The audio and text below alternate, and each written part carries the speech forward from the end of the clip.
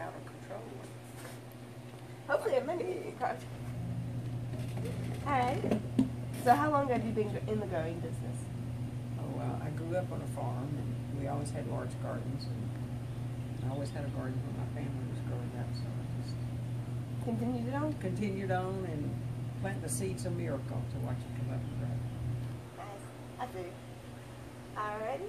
So, what crops are you currently growing for this year? for this year. Well, the main two crops are uh, strawberries and um, sweet potatoes and probably tomatoes. Nice. Nice summer crops.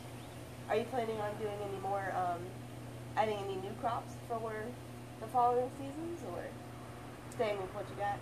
Probably stay with what I got because there's not many more to add. True. It's a fighting fly. Yep. All right. And so, what values do you think are most important to be successful for this kind of field? Uh, to be, it, it, it's like a, a small gardener to be able to plant in succession and have something coming in all the time. That's the, uh, that's the goal if you're going to be continuous. So, being able to pull out year-round crops. Mhm. Nice. How many farmers markets are you doing currently? Well, we're going to be doing three farmers markets, and then we'll be doing CSA boxes. And um, I do a co-op. Mm-hmm. I sell to restaurants, and also have an opportunity to do Athens Locally Grown. Nice. So, what restaurants are you selling to? In Athens, we sell to uh, uh, Country Club. Uh, we sell to, uh, excuse me, to the Georgia Club, we sell to National, five and ten. Uh, uh, we sell to a, uh, catering company, and occasionally to others. Nice. Cool. All right. What are some of your favorite aspects about growing, being a farmer? Uh, It's just to watch that miracle, that seed growing and then turning into a plant, and uh, I love the harvest part. Nice. So, what kind of education do you think, uh, or would you recommend for anyone looking to come into this field? Whether like college, hands-on. A lot of hands-on, plus uh, a lot of the college courses now are, are very, uh, very good at, at teaching you the basics and, and the chemistry of it and uh, a lot about the diseases and how to handle those and, and the insects and it's just a combination of things that, to be successful. And actually, the marketing is is something you can learn from school. Schooling will help you through that. Nice. All right. So, if you had to guess, about how many hours a week would you say you work? Hmm. Basically, all the hours that the sun shines. sun up, sun down. All right.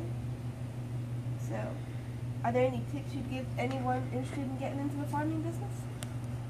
I love it, and, and it's it's a big um, uh, it's a challenge because you've you've got your weather, and the weather is a big thing. Then your rain, and then uh, whether a plant's going to produce or it's not going to produce. Say, for instance, one year we had so much rain, uh, washed all the pollen off, and nothing set fruit. Mm. So it's in, in diseases, whether you're going to have disease uh, on your crops or not, it's it's it's just a big big challenge. Nice. You just learn to live with it and just hope for the next year, for the next season. So just always be up to learning something new. Yes. All right. And what would you, if you had to guess, uh, what would you say is about your average profit for the year? Just average. Average, I, I, I've never, I've never, because I'm, I'm not a profit marketer, a marketer. I, I basically, I'm sure I earn enough to. Berries too. Uh, yeah, I do a lot of berries and things, but um, maybe to cover my price of the uh, what it costs to do that So just Yes. offset profit. offset profit, and then you, it's a, there's a lot of expense involved in it. Mm-hmm. Uh, sometimes not on every year expense, but uh, your fertilizer. I probably spend five, six hundred dollars on fertilizer, and I, on electricity to run my greenhouse. I spend maybe four or five hundred dollars a year and just, you know, six hundred dollars here and seven hundred dollars there and All adds up. all adds up and I, I can, s- I can spend four hundred dollars for seeds easy. hmm So, what would you think is your biggest expense that you'd like to see uh, better techniques to help lower that? Um, That's a good question. I'm not sure what the busy, big expense would be.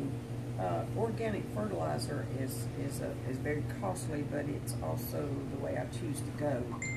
And, um, I, I, I buy it in bulk Mhm. these days, which helps. Um, I guess seed, and you always have to watch for seed. Uh, and I buy out of season because most seeds, if you freeze them, will keep and they'll, they'll germinate the next year or even the next year. Some, some won't, but most will. hmm So I'm not real sure on that question. So, do you um, do you grow everything organic? Yes, But you're not USDA certified, correct? No. No. that's much more expensive than it's worth for my my size operation. hmm I'm seeing a lot of that. People are like, we grow organic, but that label is just not enough to. And see, I do certified natural grown. Okay, yeah. So, what's the process for that? Just in general, to be certified. It's, it's farmer monitor, monitored, it's on the honor system, Mm-hmm. and, uh, uh, there is a, uh, charge for it, but nothing like, uh, Nothing like the organic no, symbol. nothing like organic. And it's, it's a growing organization that's really, really coming to the front. Do you plan to stay uh, certified naturally grown? Oh, yes. Oh, get comfortable.